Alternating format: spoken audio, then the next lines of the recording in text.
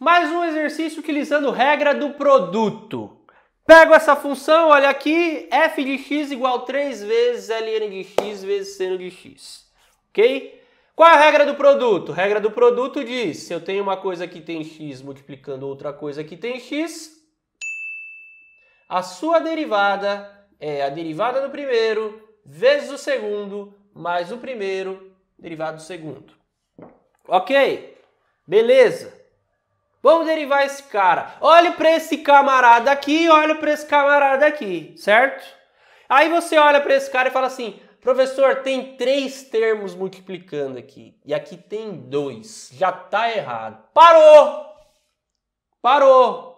Que você, a essa altura, tem que saber que quando tem uma constante multiplicando, o que, que eu faço com essa constante? Nada. Absolutamente nada. Ela vai ficar lá intacta. Você não vai fazer nada com essa constante, ela vai ficar lá paradinha. Eu vou deixar ela separada aqui, ó. Separada, como se fosse isso separado disso. Agora tenho duas, professor. Agora tem, tá? Agora ficou mais claro. O que, que eu vou usar então? A regra do produto. O que, que a regra do produto diz? Deriva o primeiro, derivada de ln de x, 1 sobre x.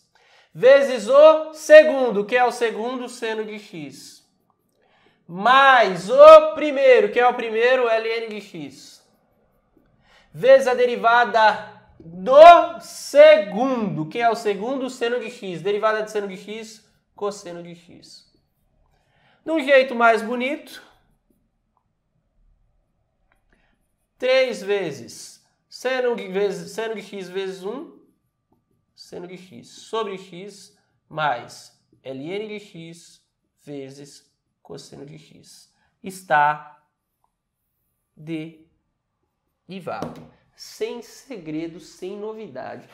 Ó, duas coisas que tem que estar dentro de você: tabela de derivadas e a fórmula da regra do produto. Professor, mas, mas o, o meu professor deixa usar a tabela. Eu vou falar no próximo vídeo, nem vou falar nesse vídeo aqui, no próximo vídeo eu vou, vou falar sobre isso. De, deixa para o próximo vídeo.